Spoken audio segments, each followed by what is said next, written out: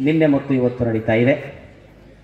ಇವತ್ತಿನ ಈ ಕಾರ್ಯಕ್ರಮದ ದ್ವಿತೀಯ ಸಭೆಯಲ್ಲಿ ಕರ್ನಾಟಕದ ಸಾಂಸ್ಕೃತಿಕ ನಾಯಕರಾದಂತಹ ಮಹಾಮಾನವತವಾದಿ ಗುರು ಬಸವಣ್ಣನವರು ಅನ್ನುವಂಥ ಒಂದು ವಿಷಯವನ್ನು ಇಟ್ಟುಕೊಂಡು ಅದರ ಮೇಲೆ ಚರ್ಚೆಗಳನ್ನು ಮಾಡತಕ್ಕಂಥ ಒಂದು ಗೋಷ್ಠಿಯನ್ನು ಏರ್ಪಡಿಸಿದ್ದಾರೆ.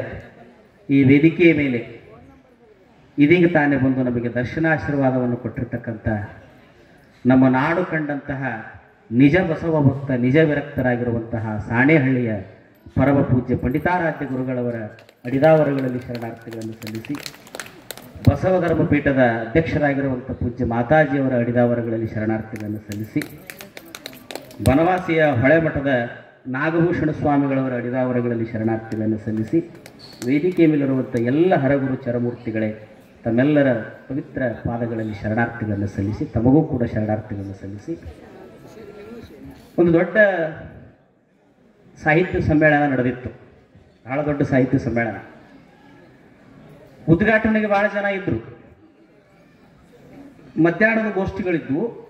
ಉದ್ಘಾಟನೆ ಮಾಡಿದ ಮೇಲೆ ಎಲ್ಲ ಜನ ಉದ್ಘಾಟಕರ ಭಾಷಣ, ಆಶೀರ್ವಚನ ಎಲ್ಲ ಆದಮೇಲೆ ಎಲ್ಲರೂ ಹೋಗ್ಬಿಟ್ರು. ಕೊನೆಗೆ ಮಧ್ಯಾಹ್ನದ ಗೋಷ್ಠಿ ಒಬ್ಬ ಸಾಹಿತಿಗಳದಿತ್ತು ಆ ಸಾಹಿತಿಗಳು ವೇದಿಕೆ ಮೇಲೆ ಬಂದು ಕೂತರು, ನಿರೂಪಕರು ಅವರು, ಕರೆದರು. ಇನ್ನೇನು ಅವ್ರು ಉಪನ್ಯಾಸ ಮಾಡ್ತಾರಂತ ಹೇಳಿ ಅವರು ಕೆಳಗಿಳಿದು ಅವರು ಹೋಗಿಬಿಟ್ರು. ಮುಂದೆ ನೋಡ್ತಾರ ಸ್ಟೇಜ್ನಾಗ ಯಾರ್ಯಾರು ಇಲ್ಲ. ಯಾರು ಇಲ್ಲ ಇಲ್ಲ ಬಿಡಿ ನಾನು ಯಾಕೆ ಮಾತಾಡೋದು ಅಂತ ತಿಳ್ಕೊಂಡು ಅವರು ಹೊಂಟಿದ್ರು. ಅವಾಗ ಒಬ್ಬ ರೈತ ಕೂತಿದ್ದಾನೆ. ಒಂದು ಕುರ್ಚೆ ಅವ ಎದ್ದು ಹೇಳಿದ, ಏನೋ ಸ್ವಾಮಿ ನಾನು ನಿಮ್ಮಷ್ಟು ಓದ್ಯಾವಲ್ಲ ನಿಮ್ಮಷ್ಟು ತಿಳಿದವನೂ ಅಲ್ಲ. ನಾನು ಒಬ್ಬ ಒಕ್ಕಲ್ತನ ಮಾಡೋ ರೈತ. ನಾ ಹೊಲದಾಗ ಒಂದಿಷ್ಟು ದನಕರಗಳನ್ನ ಕಟ್ಟೀನಿ ನಾ ಪ್ರತಿನಿತ್ಯ ಮನೆಯಿಂದ ಹೊಲಕ್ಕೆ ಹೋಗಿ ಆ ಸೆಟ್ಟಿನೊಳಗೆ ದೊಡ್ಡಿ ಒಳಗಿರುವಂಥ ದನಕರಗಳ ಚಾಕರಿ ಮಾಡಕ್ಕೆ ಹೋದಾಗ, ಅಲ್ಲಿ ದನಕರಗಳ ಒಂದಿಷ್ಟು ಹೊಲಗಳಿಗೆ ಮೇಯಕ್ಕೆ ಹೋಗಿರ್ತಾವ. ಇನ್ನೊಂದು ಒಂದು ಅಥವಾ ಎರಡು ದೊಡ್ಡಾಗ ಇರ್ತಾವ. ಏ, ಅವೆಲ್ಲ ಹೋಗ್ಯಾವ ಬಿಡು, ಇದು ಒಂದ ಐತಿ, ಎರಡ ಐತಿ, ಇದಕ್ಕೇನು ಹಾಕೋದು ಅಂತ ತಿಳ್ಕೊಂಡು ನಾ ಏನು ಹಂಗೆ ಬರೋದಿಲ್ಲ. ಇದ್ದದ್ದು ಕರ ಹಾಕೇ ಬಿಡ್ತೀನಿ ಅಂತಂದ. ಭಾಳ ಚಲೋ ಉದಾಹರಣೆ ಕೊಟ್ಟಲ್ಲ, ಭಾಳ ಚಲೋ ಉದಾಹರಣೆ ಕೊಟ್ಟಲ್ಲ ಅಂತ ತಿಳ್ಕೊಂಡು ಆಯ್ತು ಹಂಗಾರ ಒಬ್ಬ ರೈತ ಇಷ್ಟು ಚಲೋ ಉದಾಹರಣೆ ಕೊಡ್ತಾನಂದ್ರೆ ನಾ ಯಾಕೆ ಮಾತಾಡಬಾರ್ದು ಅಂತೇಳಿ, ಮಾತಾಡಕತ್ತ ಮಾತಾಡಕತ್ತ ಮಾತಾಡಕತ್ತ ಅದು ಹೇಳ್ತಾರಲ್ಲ. ಕರಡಿ ಮುಂದೆ ನಿಂತು ಯುವತಿ, ಮಾಯಕಿನ ಮುಂದೆ ನಿಂತು ಸಾಹಿತಿ, ಇವರಿಗಿಲ್ಲ ಸಮಯದ ಮಿತಿ ಅಂದಂಗೆ ಮಾತಾಡಿದ ಮಾತಾಡಿದ ಮಾತಾಡಿ ಜಗ್ಗ ಮಾತಾಡಿ ಒಂದು ತಾಸು ಇಪ್ಪತ್ತು ನಿಮಿಷ ಮಾತಾಡಿ, ಮತ್ತೆ ಕುಂತ ಅಟೊತ್ತಿಗೆ ನಿರೂಪಣೆಕಾರ ಬಂದಿದ್ದು ಧನ್ಯವಾದ ಹೇಳಕ್ಕ. ಅವಾಗ ಮತ್ತ ರೈತ ಅಂತ ನಿಂತ.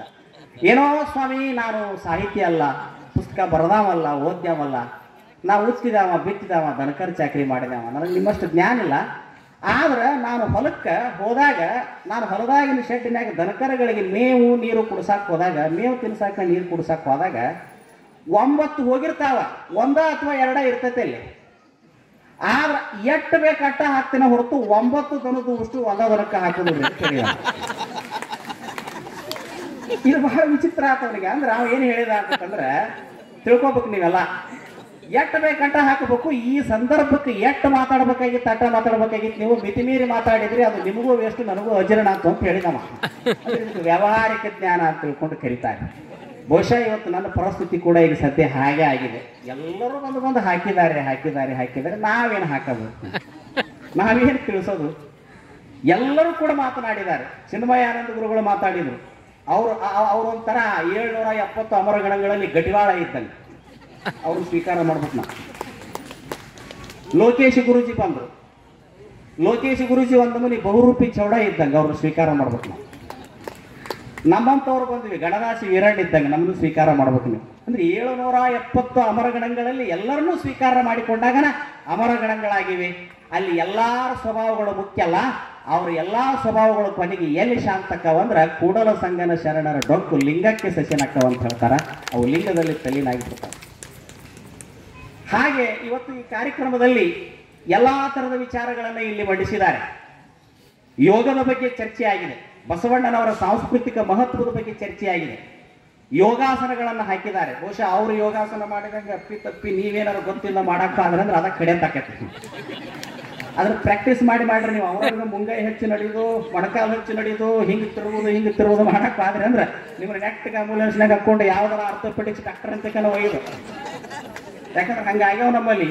ಅವ್ರು ಮಾಡದಂಗೆ ನಮ್ಮಲ್ಲಿ ಒಬ್ರು ಮಾಡಾಕ ಹೋಗಿ ಹಿಡ್ಕೊಂಡದ್ದು ಹೆಡಕ್ ಇವತ್ತಿಗೂ ಬಿಡುವಲ್ದು ಹಿಡ್ಕೊಂಡು ಬಿಟ್ಟತಿ. ಅಂದ್ರೆ ಈ ಯೋಗಗಳನ್ನ ನಾವು ಒಬ್ರು ಮಾಡೋದು ನೋಡಿ ಮಾಡಬಾರದು. ಅದನ್ನು ನಿತ್ಯ ನಿತ್ಯ ನಿತ್ಯ ನಿತ್ಯ ಅನುಸಂಧಾನ ಮಾಡಿ ಮಾಡಬೇಕಾಗ್ತದೆ.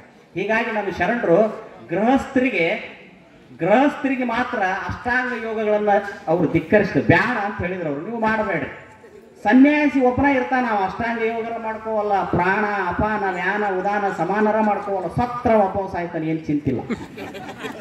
ಅಪ್ಪಿ ತಪ್ಪಿ ಸಂಸಾರಿಕರು ಏನಾರ ಮೂಗು ಮುತ್ಕೊಂಡು ಉಸಿರು ಮ್ಯಾಗ ತಗೊಳುದು ಉಸಿರು ಕೆಳಗೆ ಬಿಡೋದು ಅಲ್ಲ, ಒಂದ್ ಇಂಚಿನ ಪೈಪ್ನ್ಯಾಗ ಎರಡು ಇಂಚಿನ ನೀರು ಹಾಸಿದ್ರೆ ಪೈಪ್ ಬ್ಲಾಸ್ಟ್ ಆಕತಿ. ಇರುವ ಸಣ್ಣಗ ಇರ್ತಾವ ನಳಿಕೆ ಏನ್ ನೋಡ್ಬೇಕು ಬರೋ ಬಸ್ ಬಸ್ ತಗೊಂತಿರ್ತಾರ, ಬಸ್ ಬಸ್ ಬಿಡ್ತಿರ್ತಾರ, ಅಯ್ಯೋ ಶಿವನಿ, ಒಳಗೆ ಹೋಗಿದ್ದು ಹೊರಗೆ ಬರದಂಗಾದ್ರೆ ಏನು ಮಾಡೋ ಮರ ಇನ್ನು ಒಳಗಿನ ಕಬ್ಬಣದ ನಡಿಕೆ ಕುಡಿಸ್ಕೊಂಡ್ರಿ ಆ? ಪ್ರಾಣಾಯಾಮದ ಯೋಗ ತ್ರಾಣಾಗುಂದುವುದೆಂದು. ಪ್ರಾಣಾಯಾಮದ ಯೋಗ ತ್ರಾಣಾಗುಂದುವುದೆಂದು. ಮಾನದಲೆ ಕರಸ್ಥಲಕ್ಕೆ ಲಿಂಗವನ್ನು ಜಾಣೈಸಿದ ಗುರುವೇ ಕೃಪೆಯಾಗುವಂತ ತಿಳ್ಕೊಂಡು ಹೇಳ್ತಾರೆ. ಹಠಯೋಗ ಮಾರ್ಗ ಬಲು ಹಠಯೋಗ ಮಾರ್ಗದಿಂದ ಆಗುವ ಮುಕ್ತಿ ಸಟೆಯೆಂದು ತಿಳಿದು ನಿಜ ದಿಟದಿ ಲಿಂಗವ ಕರುಣಿಸಿದ ಗುರುವೇ ಕೃಪೆಯಾಗುವಂತ ತಿಳ್ಕೊಂಡು ಹೇಳ್ತಾರೆ. ಅಷ್ಟಾಂಗ ಯೋಗವನ್ನು ಶರಣರ ನಿರಸನ ಮಾಡಿದ್ರು ಅಂತಲ್ಲ ಅದನ್ನ ಮಾಡಬೇಕಾದ್ರೆ ಕೆಲವು ನಿಬಂಧನೆಗಳದಾವು. ಗೃಹಸ್ಥ ಮಾರ್ಗದಲ್ಲಿದ್ದವ್ರು ಅದನ್ನ ತಿಳ್ಕೊಂಡು ಮಾಡಬೇಕು. ವಿರಕ್ತ ಮಾರ್ಗದಲ್ಲಿದ್ದವ್ರು ಮಾಡಿದ್ರೆ ನಡಿತೈತಿ. ಯಾಕೆ ಇರ್ತೈತಿ ಅಂದ್ರೆ ವಿರಕ್ತರಿಗೆ ಹಿಂದೆ ಮುಂದೆ ಇರೋದಿಲ್ಲ ಹೆಣ್ಣರು ಮಕ್ಕಳು ಏನು ಇರಂಗಿಲ್ಲ. ಏನಾರ ಹೆಚ್ಚು ಕಡಿಮೆ ಆದ್ರೆ ಅವ್ನು ಉಪಯೋಗ ಆಕೈತಿ. ನಿನಗಾದ್ರೆ ನಿನ್ನ ಕುಟುಂಬಕ್ಕೆ ಹೊರತು ಬಿಡ್ತೈತಿ. ಅದಕ್ಕೆ ನೀ ಅದನ್ನ ಮಾಡಬೇಡ ಅಂತ ಹೇಳ್ತಾರೆ ಶರಣರು. ಅದಕ್ಕೆ ಅವು ನಮ್ಮಂಥವ್ರಿಗೇನೆ ಮೀಸಲಿದ್ವು ಕೆಲವೊಂದಿಷ್ಟು ಯೋಗಗಳು. ಇವತ್ತು ಬಸವಣ್ಣನವರು ಬಂದ ಮೇಲೆ ಬಸವಣ್ಣನವರನ್ನ ಸಾಂಸ್ಕೃತಿಕ ನಾಯಕರು ಅಂತ ತಿಳ್ಕೊಂಡು ಮಾಡಿದ್ವಿ. ನನಗೆ ಬಹಳ ಸಂತೋಷ. ಇವತ್ತು ಅದರ ಬಗ್ಗೆ ಬೀದರದ ಅಣ್ಣ ಅವರು ವಿಷಯ ಮಂಡಿಸಿದ್ದಾರೆ. ಅವೆಲ್ಲ ವಿಷಯವನ್ನು ಹೇಳಿದ್ದಾರೆ. ಬಸವಣ್ಣನವರನ್ನು ಯಾಕೆ ಸಾಂಸ್ಕೃತಿಕ ನಾಯಕರು ಅಂತ ತಿಳ್ಕೊಂಡು ನಾವು ಒಪ್ಕೋಬೇಕು ಅಂತಂದ್ರೆ, ಬಹುರೂಪಿ ಚೌಡಯ್ಯ ಅನ್ನುವಂಥ ಒಬ್ಬ ವಚನಕಾರ ನಾನಾ ಥರದ ವೇಷಗಳನ್ನು ಹಾಕ್ಕೊಂಡು ಬರ್ತಿದ್ದ ಮೊದಲು. ರಾಮಾಯಣದ ವೇಷ ಹಾಕ್ಕೊಂಡು ಬರ್ತಿದ್ದ, ಮಹಾಭಾರತದ ವೇಷಗಳನ್ನು ಹಾಕ್ಕೊಂಡು ಬರ್ತಿದ್ದ. ನಿಮಗೆ ಗೊತ್ತಿರಲಿ, ಕರ್ನಾಟಕದಲ್ಲಿ ಸಂಗೀತದ ವಿದ್ಯೆಯನ್ನು ಉಳಿಸಿಕೊಂಡು ಬಂದವರು ವೇಷಗಾರ ಮೊದಲು ಅವರಲ್ಲೇ ಇತ್ತು ಸಂಗೀತ ವಿದ್ಯೆ. ಆಮೇಲೆ ಇದು ಶಾಸ್ತ್ರೀಯ ಸಂಗೀತದಲ್ಲಿ ಎಲ್ಲರೂ ಇದನ್ನು ಕಲ್ತರು. ಆದ್ರೆ ಅದನ್ನು ಉಳಿಸ್ಕೊಂಬಂದು. ಬರ್ತಿದ್ರು ನೋಡ್ರಿ ಒಣಾಗ ತಗಲಿಗೆ ಪಟ್ ಟಪಿಗೆ ಹಾಕೋದು ಪ, ಒಂದು ಪೇಟೆ ಹಾಕ್ಕೊಂಡು, ತಬಲ ಹಾಕ್ಕೊಂಡು, ಬಾರಿಸ್ಕೊಂತ ಬಾರಿಸ್ಕೊಂತ ಬಾರಿಸ್ಕೊಂತ ಬರ್ತಿದ್ರು. ಒಂದು ನಾಲ್ಕು ಮಂದಿ ಅಲ್ಲೇ ಪಾತ್ರ ಮಾಡಿಬಿಡ್ತಿದ್ರು. ಕಟ್ಟಿ ಮ್ಯಾಗ ಜನ ಕುಂತು ನೋಡ್ತಿದ್ರು. ಅವ ಭೀಮ ಗದ ಎತ್ಕೊಂಡು ಬಂದಂಗೆ ಮಾಡ್ತಿದ್ದ. ಇವ ಹಂಗೆ ಯುದ್ಧ ಮಾಡಿದಂಗೆ ಮಾಡ್ತಿದ್ರು. ಅದೆಲ್ಲ ಒಂದು ಮನರಂಜನೆ ಇತ್ತು ಆಗಿನ ಕಾಲದಲ್ಲಿ. ಹಂಗೆ ಮಾಡ್ತಿದ್ದ ಬಹುರೂಪಿ ಚೌಡಯ್ಯ. ಬಸವಣ್ಣನವರ ಪ್ರಭಾವ ಆತನ ಮೇಲೆ ಆದ ಮೇಲೆ ಅಂದಿನಿಂದ ಆತ ರಾಮಾಯಣ, ಮಹಾಭಾರತದ ವೇಷಗಳನ್ನು ಹಾಕೊಂಡು ಬಿಟ್ಟ ಯಾವ ವೇಷಗಳನ್ನು ಹಾಕೊಂಡು ಬರ್ತಿದ್ದ? ಅಂದ್ರೆ ಬಸವಣ್ಣವ್ರ ವೇಷ ಹಾಕೊಂಡ್ ಬರ್ತಿದ್ದ, ಪ್ರಭುದೇವರ ವೇಷ ಹಾಕೊಂಡ್ ಬರ್ತಿದ್ದ ಅಕ್ಕಮಾದೇವಿ ವೇಷ ಹಾಕೊಂಡ್ ಬರ್ತಿದ್ದ. ಕುಂತವ್ರು ಕೇಳಿದ್ರಂತ, ಏನು ಮರಯ, ಇದು ರಾಮನ ವೇಷ ಅಲ್ಲ, ಇದು ಭೀಮನ ವೇಷ ಅಲ್ಲ, ಇದು ಐರಾವಣ ಅಲ್ಲ, ಇದು ಮೈರಾವಣ ಅಲ್ಲ, ಇದು ರಕ್ತರಾತ್ರಿ ಅಲ್ಲ, ಇದು ವ್ಯಾಪಾರವಿದ ಕಥೆ ಅಲ್ಲ, ಇದು ಮಹಾಭಾರತದ ಕಥೆ ಅಲ್ಲ. ಏನೋ ಮರಯ, ಒಂದೊಂದು ನಮೂನಿ ವೇಷ ಹಾಕೊಂಡ್ ಬರ್ತೀಯಲ್ಲ ಅಂದಾಗ ಅವತ್ತವ ಹೇಳಿದಂತ ಇವೆಲ್ಲಾ ವೇಷಗಳನ್ನು ಇಟ್ಟು ದಿವಸ ನೋಡಿರಲ್ಲ, ಅವು ಹೊಣ್ಣು ಹೆಣ್ಣು, ಮಣ್ಣು, ಭೂಮಿ, ಸೀಮೆಗಾಗಿ ಬಡದಾಡಿ ಸತ್ತು ಹೋದವ್ರ ವೇಷಗಳು. ಅವನು ಬಿಟ್ಟಿನಿ, ಈಗೇನು ಹಾಕೊಂಡು ಬರಕತ್ತೆ ನೋಡಿ ನಿಜವಾದ ವೇಷ, ಅವ್ರು ಇನ್ನೂ ಅದಾರ ಅವ್ರು ನೋಡಾಕ ಕಲ್ಯಾಣಕ್ಕೆ ಹೋಗ್ರಿ ಅಂತೇಳಿ ಕಳಿಸ್ತಿದ್ನಂತ ಅದಕ್ಕೆ ಅವ ಬರೀತಾನೆ ಸಡುಚಕ್ರ ವಲಯದೊಳಗೆ ನಾನಾಡುವೆ ಬಹುರೂಪ. ಸಡುಚಕ್ರ ವಲಯದೊಳಗೆ ಒಬ್ಬ ವೇಷ ಹಾಕೊಂಡಂತ ವೇಷಗಾರ ತನ್ನ ದೇಹದೊಳಗಿರುವಂಥ ಚಕ್ರಗಳ ವ್ಯವಸ್ಥೆಯನ್ನು ಕುರಿತು ಮಾತಾಡ್ತಾನೆ ಅಂದ್ರೆ, ಬಸವಣ್ಣ, ಯೋಗ ಸಾಮ್ರಾಜ್ಯಕ್ಕೂ ನಾಯಕ, ಅಧ್ಯಾತ್ಮ ಸಾಮ್ರಾಜ್ಯಕ್ಕೂ ನಾಯಕ ಪಾರಭಾರತ ಸಾಮ್ರಾಜ್ಯಕ್ಕೂ ನಾಯಕ, ಲೌಕಿಕ ಸಾಮ್ರಾಜ್ಯಕ್ಕೂ ನಾಯಕ. ಬಸವಣ್ಣ ಸಾಂಸ್ಕೃತಿಕ ನಾಯಕ ಹೇಗಾಗ್ತಾನೆ ಅನ್ನೋದು ಚರ್ಚೆ ಮಾಡ್ಬೇಕಲ್ಲ, ಒಂದು ವಿಷಯ ಇಟ್ಟಿದ್ದಾರೆ. ಅಂತ ಹೇಳ್ತಾನವ ಸಡುಚಕ್ರ ವಲಯದೊಳಗೆ ನಾನಾಡುವೆ ಬಹುರೂಪ. ಕುಂಡಲಿಯ ಭೂಮಧ್ಯದಲ್ಲಿ ನಾನಾಡುವೆ ಬಹುರೂಪ. ಬಯಲ ಬೆರೆಸಿದ ಮರೀಚಿಯಂತೆ ನಾನಾಡುವೆ ಬಹುರೂಪ ರೇಖಣ್ಣ ಪ್ರಿಯನಾಗಿ ನಾತ ಬಸವಣ್ಣನಿಂದ ಬದುಕಿತ್ತಿ ಲೋಕವಿಲ್ಲ ಅಂತ ತಿಳ್ಕೊಂಡು ಆತ ಹೇಳಬೇಕಾದ್ರೆ, ಬಹುಶಃ ಬಸವಣ್ಣನನ್ನ ಬಹುರೂಪಿ ಚೌಡಯ್ಯ ಹೇಗೆ ಅರ್ಥ ಮಾಡ್ಕೊಂಡಿದ್ದ ಅನ್ನೋದನ್ನ ನಾವು ಅವಲೋಕನ ಮಾಡ್ಕೋಬೇಕಾಗ್ತದೆ. ಇವತ್ತು ಇಂಥ ಅರಣ್ಯದಲ್ಲಿ ಒಬ್ಬ ಪೂಜ್ಯ ಗುರುಗಳು ಮೂವತ್ತು ವರ್ಷಗಳಿಂದ ಯೋಗ ಮಾಡಿದ್ರು. ನಮ್ಮ ಪೂಜ್ಯರು ಹೇಳಿದ್ರು ಅವ್ರ ಬಗ್ಗೆ ಮೂವತ್ತು ವರ್ಷ ಆದ್ಮೇಲೆ ಇದ ಮೊದಲನೇ ಕಾರ್ಯಕ್ರಮ ಅವ್ರು ಮಾಡಕತ್ತಿರೋದು, ಒಟ್ಟ ಕಾರ್ಯಕ್ರಮ ಮಾಡಿದ್ದಿಲ್ಲ ಅಂತ ಹೇಳಿದ್ರು. ಅದು ಸತ್ಯವೇ. ಹನ್ನೆರಡನೇ ಶತಮಾನದಲ್ಲಿ ಹಡಪದ ಅಪ್ಪಣ್ಣನವರ ಹೆಂಡತಿ ಲಿಂಗಮ್ಮನು ಕೂಡ ಯೋಗದಲ್ಲಿ ಬಹಳ ಎತ್ತರಕ್ಕೆ ಹೋಗಿ ವಚನಗಳನ್ನು ಬರೀತಾಳೆ. ಸಾಸಿರದಳದ ಕಮಲವೆಂದಡೆ ಸೂಸಿಕೊಂಡಿರುವ ಮನ, ಪವನವೆಂದಡೆ ಸುಳಿಯುವಂಥದ್ದು. ಬಿಂದುವೆಂದಡೆ ಆಗು ಮಾಡುವಂಥದ್ದು. ಈ ಮನ ಪವನ ಬಿಂದು ಮೂರನ್ನು ಒಡಗೂಡಿ ನೋಡಲು ಅಖಂಡ ಬೆಳಕೇ ನಿನ್ನ ಕಂಗಳ ಮುಂದೆ ನಿಂತಿತ್ತು. ಆ ಬೆಳಗನ್ನ ಹೆರಹಿಂಗದೆ ನೋಡಿದಡೆ ಎನ್ನೊಳಗೂ ಹೊರಗೂ ಏಕವಾಗಿದ್ದಿತ್ತು. ಅಪ್ಪಣ್ಣ ಪ್ರಿಯ ಚನ್ನಬಸವಣ್ಣ, ನಿನ್ನ ಪಾದ ಕರುಣದಿಂದ ಅಂತ ತಿಳ್ಕೊಂಡು ಹಿಮಾಲಯದ ಯೋಗಿಗಳಿಗೂ ಅಸಾಧ್ಯವಾಗಿರ್ತಕ್ಕಂತಹ ಯೋಗವನ್ನ ಒಬ್ಬ ಕ್ಷೌರಿಕರ ಮನೆಯ ಹೆಣ್ಣು ಮಗಳು ಯೋಗ ಸೂತ್ರವನ್ನು ಬರದಲ್ಲ ಬಸವಣ್ಣ ಸಾಂಸ್ಕೃತಿಕ ನಾಯಕ. ಈ ಯೋಗವನ್ನು ಸರಳೀಕರಣ ಮಾಡಿಕೊಟ್ಟ ಯಾರೋ ಒಬ್ರು ಮೆಟ್ ಹೊಲ್ಯಾಕತ್ತಿದ್ರಂತ ದೇವ್ರ ಪ್ರತ್ಯಕ್ಷ ಆಗಿಬಿಟ್ನಂತ, ಪ್ರತ್ಯಕ್ಷ ಆದ ನಾವು ಹೊಲಿದು ಬಿಟ್ಟು ಉತ್ತಕ ಸಾಷ್ಟಾಂಗ ಹಾಕಲಿಲ್ಲ.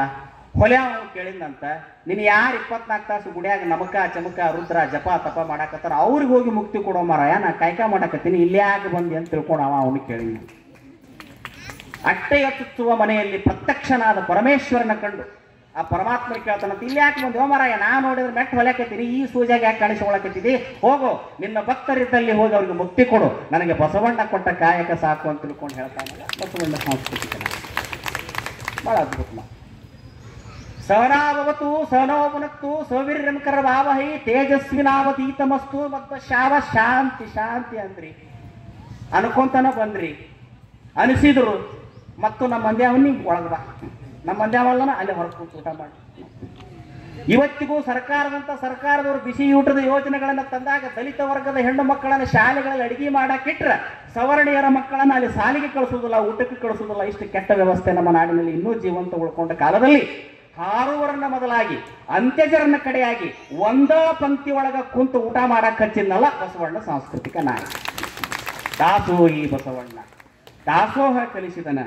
ದೇಶ ದೇಶ ಅಲ್ಲ, ಹೊಸ ಮಾತ ಕೇಳುತ್ತಲ್ಲಿ ಮಾಸಿದವ ವೇದ ಹುಸಿ ಎಂದು. ವೇದ ಹೇಳ್ತಿತ್ತು ಅಂತ ಕೆಲೆಯಾಗ ಹುಟ್ಟಿದವ್ರು ಒಂದು ಕಡೆ ಕುಂತು ಉಂಡ್ರಿ ಭುಜದಾಗ ಹುಟ್ಟಿದವ್ರು ಒಂದು ಕಡೆ ಕುಂತು ಉಂಡ್ರಿ ಕಾಲಾಗ ಹುಟ್ಟಿದವ್ರು ಒಂದು ಕಡೆ ಕುಂತು ಉಂಡ್ರಿ ಅಂತ ತಿಳ್ಕೊಂಡು, ಆದ್ರೆ ಬಸವಣ್ಣ ಹಂಗೆ ಅನ್ಲಿಲ್ಲ. ಹಾರುವರ ಕುಲ ಹೊಲೆಯ ಬೇರನ್ನೇ ಕಿತ್ತೋಗ ಅಂತ ನೋಡ ಹಾರವರ ಕುಲಹೊಲೆಯ ಬೇರನ್ನ ಕಿತ್ತೊಗೆದ. ಸಾರಿದರು ಬಸವಣ್ಣ ಬೆಂಗುಡಿಗ ಧೀರ ಕಾಯಕವೇ ಕುಲವಾತು ಶರಣರಿಗೆ. ನಿನ್ನ ಕಾಯಕ ಯಾವಂದ್ರ, ನಾನು ಏನು ಸತ್ಯ ಶುದ್ಧವಾಗಿ ಕಾಯಕ ಮಾಡ್ತೀನಿ, ಅದ ನಮಗೆ ಕುಲನ ಹೊರತು ಹುಟ್ಟಿನಿಂದ ಬಂದ ಜಾತಿ ನಮ್ಮ ಕುಲ ಅಲ್ಲ ಅಂತ ತಿಳ್ಕೊಂಡು ಮೇದಾರ ಕೇತಯ್ಯನಂತ ಕೇತಯ್ಯ ಬುಟ್ಟಿ ಹೆಣ್ಯಾಗ ಹೇಳಿದಂತ ಏನಂತ? ಅದ್ಭುತವಾದ ಮಾತು ಹೇಳಿದಂತೆ ಮೇದಾರ ಕೇತಯ್ಯ. ನಾದವಿಲ್ಲೆಂದು ವೇದಗಳು ವಚನಗಳು ಬೋಧಿಸಲು ಬಿಗಿಲು ಜನಕ್ಕಂತ ನಿಮ್ಮ ನಾದ ವೇದದೊಳಗ ನಾದಿಲ್ಲ. ನಮ್ಮ ಶರಣರ ವಚನಗಳು ನಿಮಗಿಂತಲೂ ಬೋಧಿಸಾಕ ಅದಾವ ನಿಮ್ಮ ವೇದದೊಳಗೆ ಅಪ್ರಾಮಾಣಿಕತೆ ಐತಿ. ನಿಮ್ಮ ವೇದದೊಳಗೆ ಹೆಚ್ಚು ಕಡಿಮೆ ಭೇದ ಐತಿ. ನಿಮ್ಮ ವೇದದೊಳಗೆ ಅಸಮಾನತೆ ಐತಿ. ನಿಮ್ಮ ವೇದದೊಳಗೆ ಪರಬ್ರಹ್ಮನ ಗುಣಗಾನ ಮಾಡ್ತೀರಿ. ಆದ್ರೆ ಜೀವಿಗಳಲ್ಲಿ ಪರಬ್ರಹ್ಮನ ಕಾಣೋದ್ರಲ್ಲಿ ಎಡವುತ್ತೀರಿ ನಿಮ್ಮ ವೇದಗಳನ್ನು ಕಂಡಾಪಟ್ಟಿ ಹೇಳ್ತೀರಿ. ಆದ್ರೆ ನಿಮ್ಮ ವೇದಗಳಲ್ಲಿ ಎಲ್ಲವೂ ಐತಂತೀರಿ ಆದ್ರೆ ಇದ್ದದ್ದು ಬಿಟ್ಟು ಇಲ್ಲದನ್ನ ನೀವು ತುರುಕ್ತೀರಿ ಆದ್ರೆ ನಮ್ಮ ವಚನಗಳು ಹಂಗಲ್ಲ.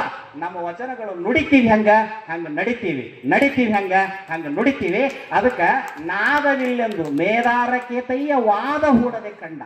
ನಾದವಿಲ್ಲೆಂದು ವೇದಗಳು ವಚನಗಳು ಬೋಧಿಸಲು ಮಿಗಿಲು ಜನಕ್ಕಂತ ತಿಳ್ಕೊಂಡು, ವಚನಗಳೇ ಬೋಧಿಸಲಿಕ್ಕೆ ಮಿಗಿಲು ಅಂತ ತಿಳ್ಕೊಂಡು, ಹುದ್ದೆ ಹೊಂದಿದವು ವಚನಗಳು. ನೋಡಿ, ಹುದ್ದೆ ಹೊಂದಿಬಿಟ್ಟುವಂಥ ವಚನಗಳು.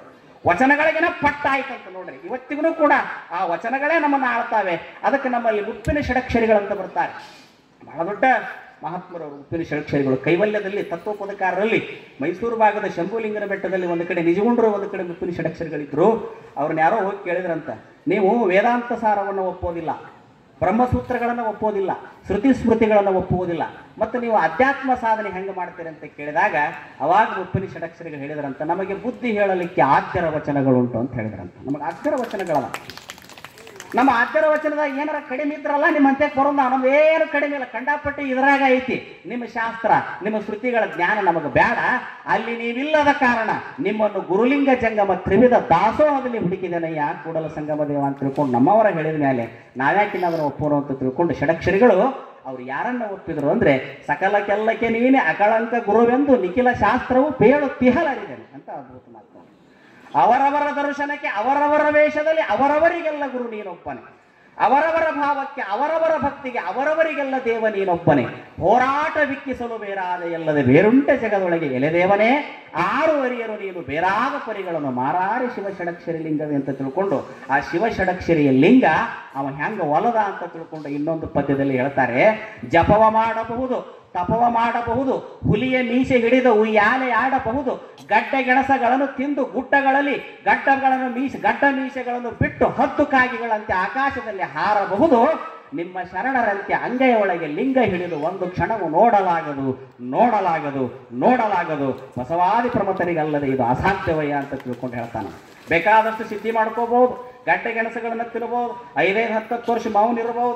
ಏನು ಬೇಕಾದ್ ಮಾಡಬಹುದು. ಆದ್ರೆ ಲಿಂಗದಲ್ಲಿ ಮನವನ್ನಿಡಲಿಕ್ಕಾಗದು ಅಂತ ಹೇಳ್ತಾನೆ ಆ ಲಿಂಗದಲ್ಲಿ ಮನವನ್ನಿಡಬೇಕಾದ್ರೆ ಅದಕ್ಕೆ ಲಿಂಗಾಂಗ ಮಾರ್ಗನೇ ಬಹಳ ಮುಖ್ಯ ಹೊರತು ಅದಕ್ಕೆ ಬೇರೆ ಮಾರ್ಗ ಇಲ್ಲ ಅಂತ ತಿಳ್ಕೊಂಡು ಸ್ಪಷ್ಟ ಹೇಳ್ತಾರೆ. ಅಂತ ಷಡಕ್ಷರಿಗಳು ಇದನ್ನು ಒಪ್ಪಲಿಲ್ಲ. ಅವರು ಕೂಡ ಶರಣ ಮಾರ್ಗವನ್ನೇ ಹೇಳಿದರು. ಮುಂದೆ ಒಂದು ಪರಂಪರೆ ಬಂತು. ಯಾರೋ ನಮ್ಮ ಮುಳುಗುಂದದ ಬಾಲ್ಯದ ಮಹಂತ ಸ್ವಾಮಿಗಳನ್ನು ಕೇಳಿದ್ರಂತೆ. ನೀವು ಯಾರು ನೀವು ಇತ್ತಾಗ ಅದನ್ನು ಒಪ್ಪುದಿಲ್ಲ ಇದನ್ನು ಒಪ್ಪುದಿಲ್ಲ ನಿಮಗೆ ಮಂತ್ರರ ಅದಾವ ಅಂದ್ರೆ, ನಮಗೆ ಮಂತ್ರವೇ ಬಸವಣ್ಣ ಅಂತ ಹೇಳಿ ಅವರೇ ಮಂತ್ರವನ್ನು ಬರುವರು ಬಸಿತವನು ಧರಿಸುವನು ಯಶವ ಮಹಾಲಿಂಗವೇ, ಬಸವ ನಾಮವ ಜಪಿಸಿ ಮರಳಿ ಮರಳಿ. ಬಸವ ಬಸವ ಎಂದು ಬಸಿತವರು ಧರಿಸಿದರೆ ಬಸವಾದಿ ಪ್ರಮತರಿಗೆ ಪ್ರೀತಿಯಯ್ಯ ಅಂತೇಳಿ.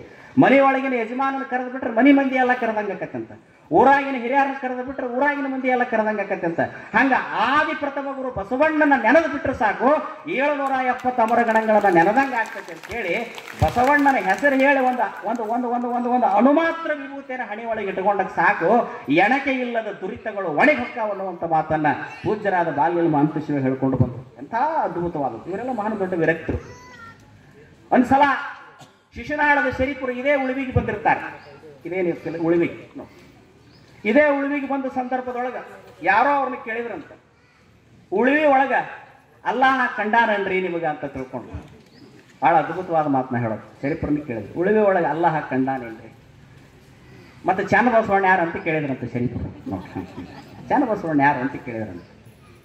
ಚನ್ನಬಸವಣ್ಣ ಶಟಸ್ಥಲ ಚಕ್ರವರ್ತಿ ಜ್ಞಾನನಿಧಿ ನಿಮಗೆ ಶಟಸ್ಥಲ ಚಕ್ರವರ್ತಿ, ನಿಮಗೆ ಜ್ಞಾನನಿಧಿ ಬಸವಣ್ಣಗೆ ಸೋದರ ಅಳೆಯ ನನಗೆ ಮಾತ್ರ ಅಲ್ಲ ಅಲ್ಲಮರನ್ನು ಒಂದು ಮಾಡಿ ನಾವು ಅವ ಚನ್ನಬಸವಣ್ಣ ಅವನು ನೋಡಿದ ಮೇಲೆ ಅಲ್ಲಾನು ನೋಡಿದಂಗೆ ಆಕತ್ತೆ ಅಂತ ಅದಕ್ಕೆ ಅವರು ತಮ್ಮದೊಂದು ಪದ್ಯದಲ್ಲಿ ಹೇಳ್ತಾರೆ, ಉಳಿವಿ ಜಾತ್ರೆಗೆ ಹೋಗೋಣ, ಉಳಿವಿ ಜಾತ್ರೆಗೆ ಹೋಗೋಣ. ತಿಳಿದು ತನ್ನ ಬಯಲ ಬ್ರಹ್ಮದೊಳಗಾಡುವ ಉಳವಿ ಜಾತ್ರೆಗೆ ಹೋಗೋಣ. ಬ್ರಹ್ಮ ರಕ್ಕಸಿ ಎಂಬ ಘಟ್ಟವ ದಾಟಿ ಹಮ್ಮ ನಳಿದು ಶ್ರೀಚನ್ನ ಬಸವನ ರಮ್ಯದವನವನ್ನು ಗಮ್ಯಾದಿ ಪಾಡುತ್ತ ಉಳವಿ ಜಾತ್ರೆಗೆ ಹೋಗೋಣ.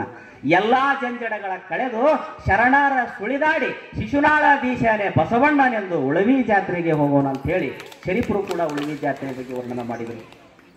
ತೋಂಟದ ಸಿದ್ಧಲಿಂಗ ಶಿವಯೋಗಿಗಳು ತಮ್ಮ ಸಂಚಾರ ಮಾಡೋ ಕಾಲಕ್ಕೆ ಉಳವಿಗೆ ಬರ್ತಾರೆ.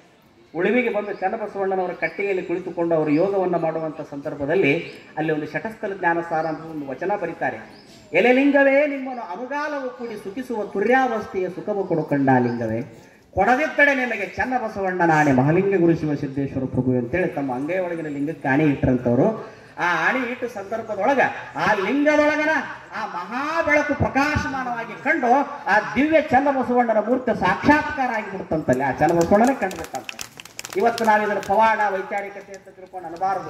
ವೈಚಾರಿಕತೆಯನ್ನು ಎಲ್ಲನೂ ಎಲ್ಲನೂ ವೈಚಾರಿಕತೆಯಲ್ಲಿ ನೋಡಬಾರದು. ಆಗಲ್ಲ ನಮ್ಮ ಪೂಜ್ಯ ಚಿನ್ಮಯಾನಂದ ಸ್ವಾಮಿಗಳು ಮಾತಾಡಿದರು. ಬಹುಶಃ ಆ ಮಾತುಗಳು ಎಲ್ಲರಿಗೂ ಹಿಡಿಸಲ್ಲ, ಆದ್ರೆ ಅವು ನೂರಕ್ಕೂ ನೂರು ವಾಸ್ತವಿಕವಾದ ಮಾತುಗಳೇ ಯೋಗ ಸಾಧನೆಯಲ್ಲಿ ಯಾವುದೂ ಅಸಾಧ್ಯ ಇಲ್ಲ. ಯಾಕಂದ್ರೆ ಈ, ಈ- ಈ ಆಶ್ರಮದಲ್ಲಿರುವಂಥ ಚನ್ನಬಸವಾನಂದ ಸ್ವಾಮಿಗಳು ಅದಾರಲ್ಲ, ಅವರು ಎಷ್ಟು ದೊಡ್ಡ ಅನುಭಾವಿಗಳು, ಎಷ್ಟು ದೊಡ್ಡ ಸಾಧಕರು ಅಂದ್ರೆ, ಬಹುಶಃ ನಮ್ಮ ಕರ್ನಾಟಕದಲ್ಲಿ ಕಾಲಜ್ಞಾನದ ಬಗ್ಗೆ ಬಹಳಷ್ಟು ಚಿಂತನೆಗಳನ್ನು ಮಾಡಿದಂಥವ್ರು ಕಾಲಜ್ಞಾನದ ಬಗ್ಗೆ ಬಹಳ ತಲೆ ಕೆಡಿಸಿಕೊಂಡಂಥವ್ರು ಕಾಲಜ್ಞಾನಗಳನ್ನು ಹುಡುಕಿ ಅದನ್ನ ಪ್ರಕಟಣೆ ಮಾಡಿ ಆ ಸಾಹಿತ್ಯ ಉಳಿಸಿದವರು ಅಂದ್ರೆ ಶಿವಪುರದ ಚನ್ನಬಸವ ಸ್ವಾಮಿಗಳು ಅವ್ರನ್ನ ಎಂದು ನೆನಪಾರಬಾರ್ದು ಬಹುಶಃ ನನಗೆ ಅನಿಸ್ತೈತಿ, ಆ ಚನ್ನಬಸವಣ್ಣವ್ರು ಬರೋಕ್ಕಿಂತ ಮೊದಲು ಈ ಚನ್ನಬಸವಣ್ಣವ್ರ ಕಳಶಾನ ಏನೋ ನೀವು ಒಟ್ಟು ಮುಂದೆ ಹೋಗಪ್ಪ, ನಾವು ಬರೋದು ಹೇಳಂತೇಳಿ ಹೇಳಿ ಮನಸ್ಸಿರ್ತದೆ.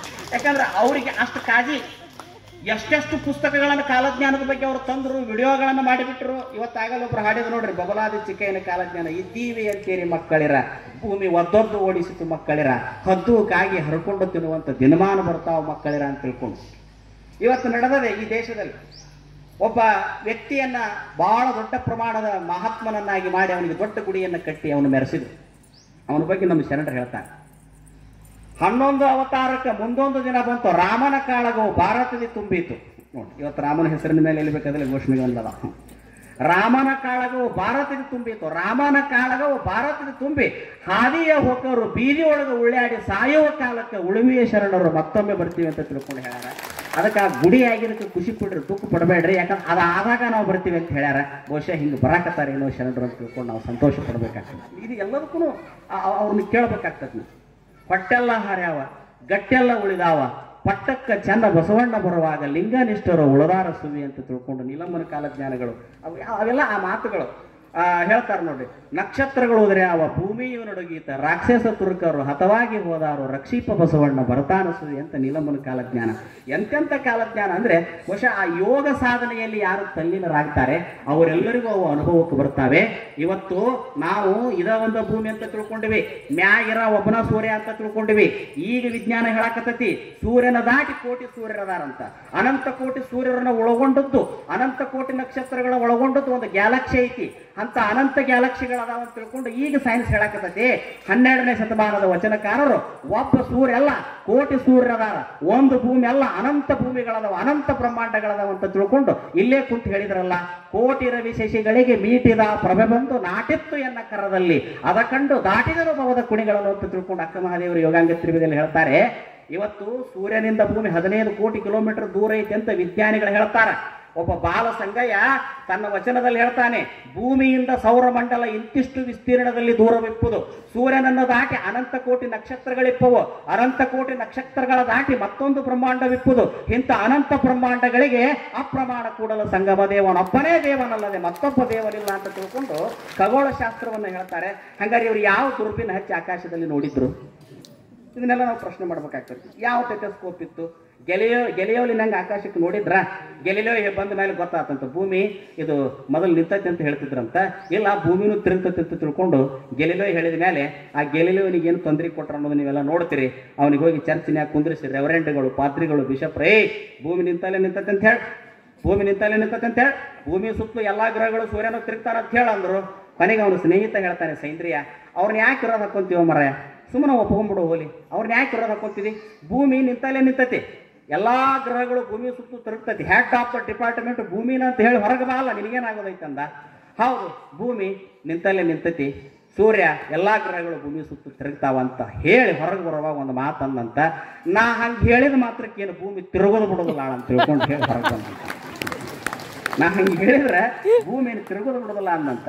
ಆ ಸತ್ಯ ಹಿಂದಗಡೆ ವಿಜ್ಞಾನಿಗಳು ಹೇಳಿದ ಮೇಲೆ ಬೈಬಲದಲ್ಲಿ ಆ ಜನ ಆ ವಿಷಯವನ್ನು ತೆಗೆದು ಹಾಕಿದ್ರು ಇದು ಗೊತ್ತಿರಲಿ ನಿಮಗೆ. ಆ ಸಬ್ಜೆಕ್ಟ್ ಆಗಿ ತೆಗೆದುಬಿಟ್ರು. ಅಂದ್ರೆ ಒಂದನ್ನ ಅವ್ರವ್ರ ಧರ್ಮ ಗ್ರಂಥಗಳಲ್ಲಿ ಹೆಚ್ಚು ಕಡಿಮೆ ಇದ್ದದ್ದನ್ನ ಇದ್ದಂಗ ಸಾಧಿಸ್ತೀವಿ ಅಂತ ತಿಳ್ಕೊಂಡು ಸಟಕ್ ಬಿದ್ದು ಸಾಧಿಸಕ್ ಹೋಗ್ತಾರ.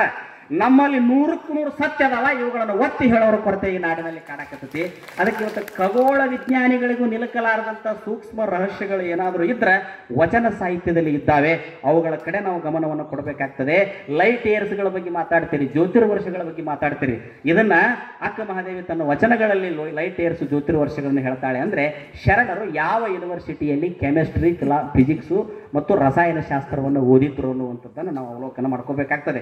ಅದಕ್ಕೆ ಬಸವಣ್ಣನವರನ್ನು ಯಾಕೆ ನಾವು ಸಾಂಸ್ಕೃತಿಕ ನಾಯಕರು ಅನ್ನಬೇಕಂದ್ರೆ, ಬಸವಣ್ಣ ಸಾಂಸ್ಕೃತಿಕಕ್ಕೂ, ಧರ್ಮಕ್ಕೂ, ಅಧ್ಯಾತ್ಮಕ್ಕೂ, ಲೌಕಿಕಕ್ಕೂ, ಪಾರಲೌಕಿಕಕ್ಕೂ, ಯೋಗಕ್ಕೂ ಇನ್ನೇನಾರ ಅದಾವಂದ್ರೆ ಅದು ಎಲ್ಲದಕ್ಕೂ ಬಸವಣ್ಣ ಸಮರ್ಥನಾಗಿ ನಾಯಕನಾಗ್ತಾನೆ. ಯಾಕಂದ್ರೆ ಬಸವಣ್ಣನಷ್ಟು ಸಂಪೂರ್ಣವಾದ, ಪರಿಪೂರ್ಣವಾದ ಜೀವನವನ್ನು ಮಾಡಿದವರು ಕರ್ನಾಟಕದ ಇತಿಹಾಸದಲ್ಲಿ ವಿರಳ. ಇವರಷ್ಟು ಪರಿಪೂರ್ಣವಾಗಿ ಬದುಕನ್ನು ಬದುಕಲಿಕ್ಕೆ ಹೇಳ್ತಾರೆ ನೋಡ್ರಿ, ಕೆಲವರು ಒಳಗೆ ಸುಟ್ಟಾರಂತ. ಹೊರಗೆ ಸುಟ್ಟಿಲ್ಲ ಅಂತ ಕೆಲವರು. ಕೆಲವರು ಹೊರಗೆ ಸುಟ್ಟಾರಂತ, ಕೆಲವರು ಒಳಗೆ ಸುಟ್ಟಿಲ್ಲ ಅಂತ ನಮ್ಮಲ್ಲಿ ಕಾಡ ಸಿದ್ದೇಶ್ವರ ಅಂತ ಬರ್ತಾರೆ, ಕಣೇರಿ ಕಾಡ ಸಿದ್ದೇಶ್ವರ. ಅವ್ರು ಭಾಳ ಚಂದ ಹೇಳ್ತಾರೆ, ನೀರಿಲ್ಲದ ಫಲ. ನೀರಿಲ್ಲದ ಫಲ ಅಂದ್ರೆ ನೀರಿನ ಹಣ್ಣು ನೋಡಿರಲ್ಲ ನೀರಿಲ್ಲದ ಫಲ. ಖರ್ಜೂರದ ಫಲದಂತೆ ಇರುವವರು, ಸ್ವರ್ಗಲೋಕದವರಂತ ನೋಡಿ ನಾರಿಯ ಫಲ. ಅಂದ್ರೆ ನಾರಿಯ ಫಲ ಅಂದ್ರೆ ಇದು ನಾರಿಕೇಳ ಅಂತಾರೆ, ತೆಂಗಿನಕಾಯಿ. ನಾರಿಕೇಳದ ಫಲ. ಬಾಳೆಯ ಫಲದಂತೆ ಇರುವವರು, ಮರ್ತ್ಯಲೋಕದವರು ನೋಡಿ ಸ್ವರ್ಗಲೋಕದವರು ಮ್ಯಾಗ ಅವ್ರು ನೀರ್ಲ ಹಣ್ಣಿದ್ದಂಗೆ ಮ್ಯಾಗಿಂದ ತಿಂದು ಹೊರಗಿಂದ ಒಳಗಿನ ಬೀಜ ಒಗಿತೀರಿ. ಪೂರ ತಿನ್ನಕ್ಕೆ ಬರೋದಿಲ್ಲ ಅದನ್ನು. ಅಂದ್ರೆ ಹೊರಗೆ ಚಲೋ ಅದಾವ, ಒಳಗೆ ಕೆಟ್ಟ. ಇನ್ನು ಮರ್ತ ಲೋಕಕ್ಕೆ ಬಂದ್ರೆ ತೆಂಗಿನಕಾಯಿ ಒಳಗಿನ ಕೊಬ್ಬರಿ ತಿಂತೀರಿ ಚಿಪ್ ಹೊರಗೆ ಹೋಗ್ತೀರಿ. ಬಾಳೆಹಣ್ಣಿನ ಒಳಗಿನ ಹಣ್ಣು ತಿಂತೀರಿ ಸಿಪ್ಪಿ ಹೊರಗೆ ಹೋಗ್ತೀರಿ. ಇವು ಸ್ವಲ್ಪ ಒಳಗೆ ಚಲೋ ಅದಾವ, ಹೊರಗೆ ಕೆಟ್ಟಾವ. ಎಲ್ಲರ ಏನಾರ ಹುಡುಕಾಡಿದ್ರೆ ಇಲ್ಲಿನೂ ದೋಷ ಐತಂತ.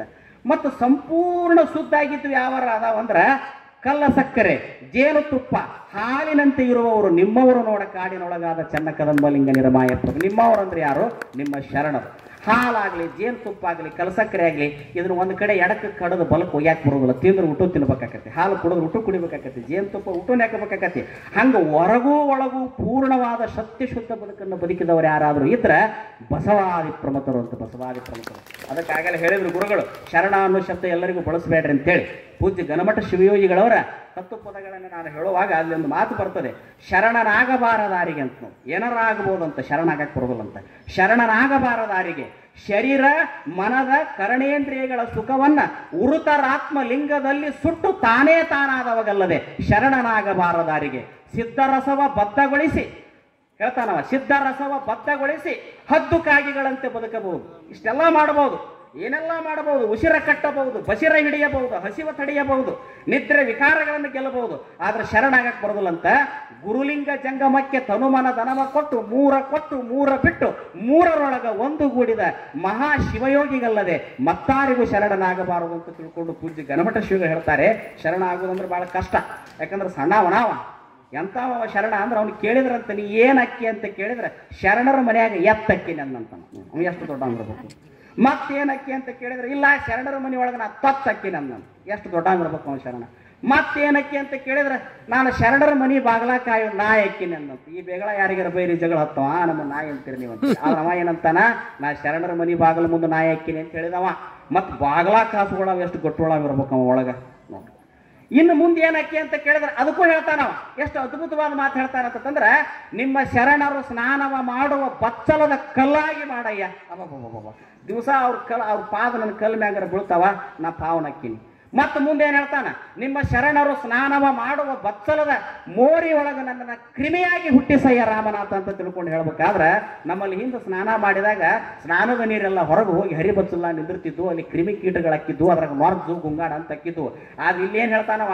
ನಿಮ್ಮ ಶರಣರು ಸ್ನಾನ ಮಾಡುವ ಬಚ್ಚಲದ ಮೋರಿ ಒಳಗೆ ನನ್ನ ಹುಳ ಆಗಿ ಹುಟ್ಟಿಸು, ಆ ಶರಣರ ಜಳಕ ಮಾಡಿದ ನೀರಿನ ಬ್ಯಾಗರ ಕೂತು ನನ್ನ ಜನ್ಮ ಸಾರ್ಥಕ ಮಾಡ್ಕೊತೇನೆ ಅಂದ್ರೆ ಶರಣ ಎಷ್ಟು ಶ್ರೇಷ್ಠ ಇರಬೇಕು ಅನ್ನುವಂಥದ್ದನ್ನ ನಾವು ಈ, ಈ- ಮಾತಿನಿಂದ ಮಾತಿನಿಂದನೇ ತಿಳ್ಕೊಬೇಕಾಗ್ತದೆ. ಅದಕ್ಕೆ ಅಂತ ಶರಣರು ನಮ್ಮವರು ಅಗಟಿತ ಗಟಿತರು ಕಾಲಕರ್ಮರಹಿತರು, ಭವವಿರಹಿತರು, ಅವರಿಗೆ ತೋರಲಿಕ್ಕೆ ಪ್ರತಿ ಇಲ್ಲವೂ ಕೂಡಲು ಸಂಗಮ ದೇವ ಅಂತ ಹೇಳ್ತಾರೆ. ಇಂಥ ಶರಣರ ಸಂಸ್ಕೃತಿ ಶರಣರ ಪರಂಪರೆಯನ್ನು ಇವತ್ತು ಹೇಳ್ತಾರೆ ನಮ್ಮಲ್ಲಿ. ನಮ್ಮ ಹೊಳೆ ಹೊಳೆ ಮಠದ ಶ್ರೀಗಳು ಹೇಳಿದ್ರು, ನಾವೆಷ್ಟು ಪುಣ್ಯ ಮಾಡಿವ್ರಿ ಲಿಂಗಾಯತರಂದ್ರೆ ಇಂಥ ಮನದಾಗ ಬಂದು ಇಷ್ಟು ಚಂದ ಕಾರ್ಯಕ್ರಮ ಮಾಡುವಂತ ಹಕ್ಕ ಬಹುಶಃ ಜಗತ್ತಿನಾಗ ಯಾರಿಗೆ ರೈತೆ ಇಲ್ಲ, ಅದು ಲಿಂಗಾಯತರಿಗೆ ಐತೆ ಅಂತ ತಿಳ್ಕೊಂಡು ಹೇಳಿದ್ರು. ಹೌದು. ನಾವು ಲಿಂಗ ಭಕ್ತರಿದ್ದ ಟಾವು ಪಟ್ಟಣ ಅಂತ. ನೋಡ್ರಿ ಲಿಂಗ ಭಕ್ತಿ ಎಲ್ಲಿರ್ತಾನ ಆ ಟಾವು ಪಟ್ಟಣ ಅಂತ. ಇವತ್ತು ಚನ್ನಬಸವಾನಂದ ಸ್ವಾಮಿಗಳು ಮೂವತ್ತು ವರ್ಷ ಇಲ್ಲಿ ಅನುಭವ ಮಾಡಿ, ಮೂವತ್ತು ವರ್ಷ ಶಿವಯೋಗ ಮಾಡಿದ್ರು. ಇವತ್ತು ನಾವೆಲ್ಲ ಇವತ್ತು ಅವ್ರನ್ನ ಹುಡುಕೊಂಡು ಬಂದ್ವಿ. ಆದ್ರೆ ಮೂವತ್ತು ವರ್ಷದ ಅವರ ಹೋರಾಟ, ಅವರ ಸಾಧನೆ, ಅವರ ನೋವು, ಅವರ ಸಂಕಟ, ಅವರ ಕಷ್ಟ, ಅವ- ಅದನ್ನೆಲ್ಲವನ್ನು ಒಂದು ಕ್ಷಣ ವಿಚಾರ ಮಾಡ್ಕೊಂಡ್ಬಿಟ್ರೆ ಎಷ್ಟು ತ್ರಾಸ ತಗೊಂಡಿರ್ಬೇಕು ಅವ್ರು ಈ ಜಗದಾಗ. ಎಷ್ಟು ತ್ರಾಸ ತೊಗೊಂಡಿರ್ಬೇಕು ಅವ್ರು, ಇಷ್ಟೆಲ್ಲ ಮಾಡ್ಬೇಕಾದ್ರೆ ಅವ್ರಿಗೆ ಎಷ್ಟು ನೋವಾಗಿರಬೇಕು.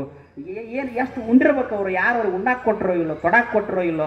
ಮತ್ತು ಈ ಜಗದೊಳಗೆ ಯಾರು ಬರ್ತಾರೋ, ಒಂದು ದಿನನೂ ಉಪವಾಸ ಹೋಗ್ಲಿಲ್ಲಂತ ಬಂದವರಿಗೆಲ್ಲರಿಗೂ ಪ್ರಸಾದ ಸಿಕ್ತಂತೆ.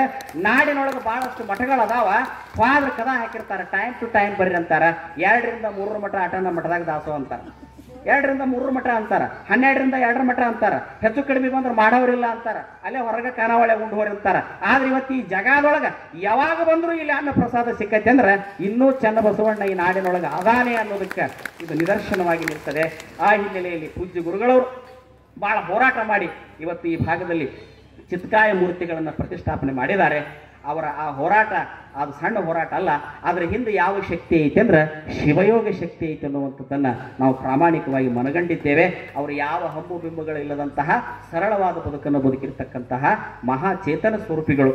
ಇವತ್ತು ಅಂಥ ಪುಣ್ಯಾತ್ಮರ ಜಾಗದಲ್ಲಿ ನನಗೆ ಇಲ್ಲಿ ಬಂದ ಮೇಲೆ ನನಗನಿಸ್ತು ಭಾಳ ಸಣ್ಣವರಿದ್ದಾಗ ನಾವು, ನಮ್ಮ ಧಾರವಾಡದ ಮೃತ್ಯುಂಜಯ ಪೂಳು ಬರ್ತಿದ್ರಲ್ಲಿ ಉಳಿವಿ ಮುರುಘಾಮಠದ ಮೃತ್ಯುಂಜಯ ಬಂದು ಅಲ್ಲಿ ಶಿವಾನುಭವ ಮಂಟಪ ಅಂತ ಕಟ್ಟಿದ್ರು ಚನ್ನಬಸವೇಶ್ವರ ಗುಡಿ ಮುಂದೆ ಮೃತ್ಯುಂಜಯಪ್ಪಗಳು ಅಪ್ಪಗಳು ಮೃತ್ಯುಂಜಯ ಅಪ್ಪಗಳವರು ಬಸವ ಜಯಂತಿಯನ್ನು ಪ್ರಾರಂಭ ಮಾಡಲಿಕ್ಕೆ ಹರಡೇಕರ ಮಂಜಪ್ಪ ಹೇಳಿದ ಮೇಲೆ ಅದನ್ನು ಅನುಷ್ಠಾನಕ್ಕೆ ತಂದಂಥವ್ರು, ಧಾರವಾಡದ ಮೃತ್ಯುಂಜಯಪ್ಪಗಳು ಅವರೇ ಉಳುವಿಗೆ ಬಂದು ಎಲ್ಲರೂ ಬೆತ್ತ ಕಡ್ಕೊಂಡು ಅಡಿಕೇಶ್ವರ, ಮಡಕೇಶ್ವರ, ಉಳುವೀಚರ, ಬಸವೇಶ್ವರ, ಬಹುಪರಾಕ್ ಅಂತ ತಿಳ್ಕೊಂಡು ಎಲ್ಲರೂ ಹೋಗ್ಬಿಡ್ತಿದ್ರು. ಹಂಗೆ ಹೋಗ್ಬೇಡ್ರಿ ಚನ್ನ ಬಸವಣ್ಣ ಮನದ ಮೈಲಿಗೆ ತೊಳೆಯಬೇಕಾದರೆ ಶರಣರ ಅನುಭವ ಮಾಡ್ರಿ ಅಂತ ಹೇಳ್ಯಾನ. ಇಲ್ಲಿ ಬಂದು ನಾವು ಬರೇ ಊಟ ಮಾಡಿ, ಹೋಳಿಗೆ ಉಂಟು ಹೋದ್ರಲ್ಲಪ್ಪ, ಶರಣರ ಅನುಭವ ಮಾಡೋಣ ಅಂತೇಳಿ ಶಿವಾನುಭವ ಮಂಟಪ ಕಟ್ಟಿದ್ರು. ಇವತ್ತಿಗೂ ಉಳಿವಿ ಬಸವೇಶ್ವರ ಗುಡಿ ಮುಂದೆ ಹೋಗ್ರಿ ಶಿವಾನುಭವ ಮಂಟಪ ಐತಲ್ಲ, ಅದು ಧಾರವಾಡ ಮೃತ್ಯುಂಜಯ ಒಳಗೆ ಕಟ್ಟಿದ್ದರು ಅವ್ರ ನಂತರ ಇಲ್ಲಿ ಪ್ರತಿ ವರ್ಷ ಒಂದು ಇಪ್ಪತ್ತು, ಮೂವತ್ತು, ಐವತ್ತು ಜನ ವಿರಕ್ತ ಮಠದ ಸ್ವಾಮಿಗಳು ಬರ್ತಿದ್ರು.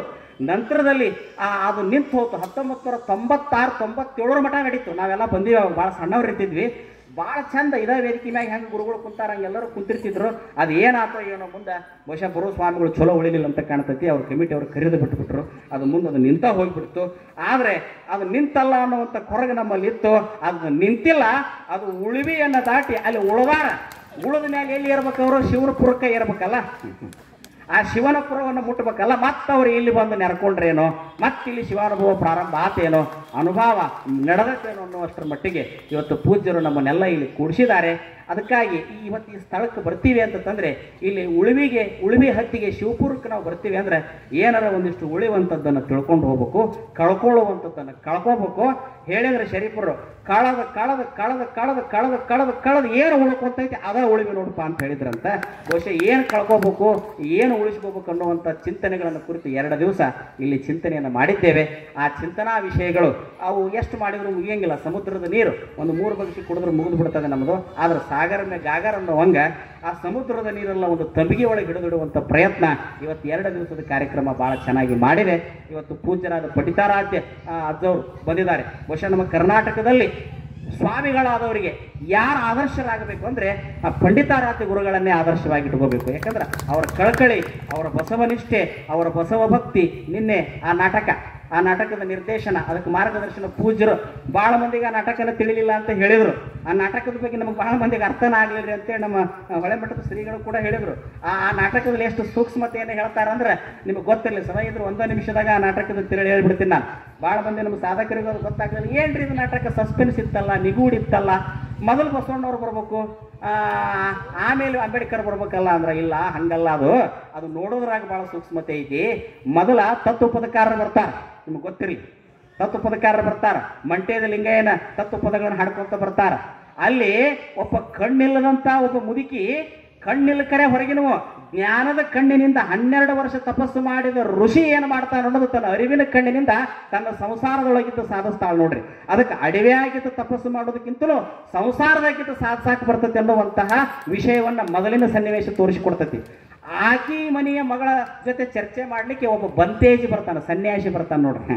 ಅವ ಬಂದು ಕೊನೆಗೆ ಆಕೆಯ ಜೊತೆ ಲಗ್ನ ಆಗಿ ಮುಂದೆ ಅವ ಹನ್ನೆರಡು ವರ್ಷ ಕುಂತ ಮೇಲೆ ಎತ್ತ ಮೇಲೆ ಇನ್ನೂ ಸಾರಿನ ವಾಸನೆ ಹೋಗಿರೋದಿಲ್ಲ ಅವಂಗ. ಯಾವ್ದು ಮನಸ್ಸಿನಾಗ ಇಟ್ಕೊಂಡು ನಾವು ಕುಂದಿರ್ತೀವಿ, ಹೊಳ್ಳಿ ಎತ್ತರ ಆದಾಗ ಅದ ವಾಸನಾ ಗುಣ ನಮ್ಮಲ್ಲಿ ಇರ್ತೈತಿ.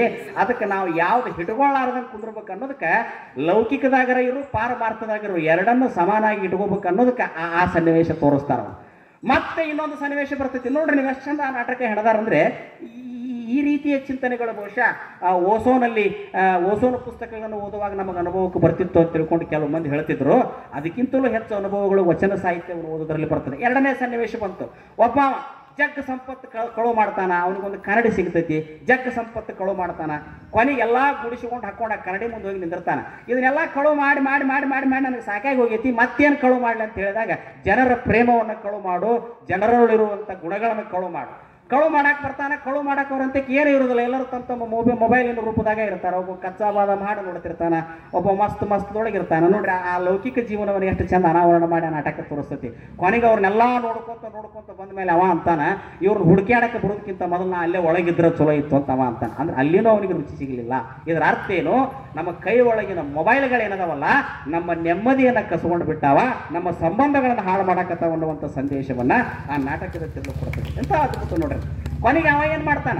ಸಾಮಾಜಿಕತೆ ಜೀವನಕ್ಕೆ ಮತ್ತೆ ನಾಟಕ ಎರಡನೇ ತಿರುವು ತಗೊಂತೈತಿ. ನೀರು ಕುಡಿಯಾಕ ಬರ್ತಾನ, ಅಸ್ಪೃಶ್ಯರು ಬಾವಿ ಒಳಗೆ ಬೋರ್ಡ್ ಹಾಕಿರ್ತಾರ, ಈ ಬಾವಿಗೆ ಅಸ್ಪೃಶ್ಯರು ಬರಬೇಡಿ. ನೋಡು, ಸಾಮಾಜಿಕತೆ ಹೇಳ್ತೈತೆ ನಾಟಕ.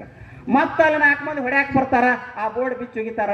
ಕೊನೆಗೆ ಆ ಅಸ್ಪೃಶ್ಯತೆಯನ್ನು ತೆಗೆದು ಒಗಿಲಿಕ್ಕೆ, ಈ ಲೋಕದಲ್ಲಿ ಸಮಾನತೆ ಬರಲಿಕ್ಕೆ ಅಂಬೇಡ್ಕರ್ ಅಂತವರು ಸಂವಿಧಾನವನ್ನು ತಂದರು ಅನ್ನುವಂಥ ಒಂದು ವಿಷಯವನ್ನ ಆ ನಾಟಕ ತೋರಿಸಿಕೊಡ್ತದೆ. ಮುಂದಿನ ಸನ್ನಿವೇಶ ಬಹಳ ಬಹಳ ಮುಖ್ಯ, ಅದು ಯಾರಿಗೂ ಗೊತ್ತಾಗ್ಲಿಲ್ಲ.